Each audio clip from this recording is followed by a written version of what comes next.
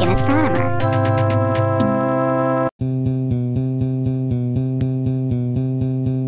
Why do we see spiral arms in some galaxies?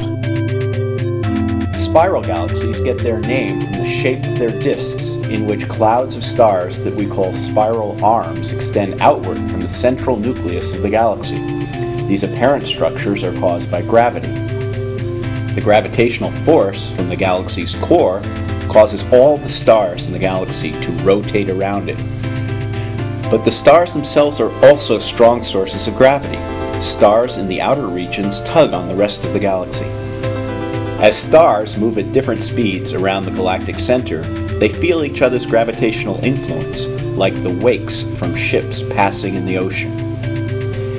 In many galaxies, the wave is in a spiral shape, and this spiral moves through the stars and clouds, disturbing them. So, why are the spiral arms so much brighter than the rest of the galaxy if they're just being tossed by a wave? When a gravity wave passes through a gas cloud, it squeezes the cloud. Dense clouds of gas and dust collapse and form new stars. The band of younger, brighter stars becomes visible to us as a spiral arm. Many galaxies have a spiral structure, but depending on the angle we see the galaxy from, this structure may or may not be visible from Earth. Over the years, astronomers have obtained spectacular images of spiral galaxies helping us better understand both the distant universe and the galaxy in which we live. For Ask an Astronomer, I'm Dr. Steve Lord of NASA's Infrared Processing and Analysis Center at the California Institute.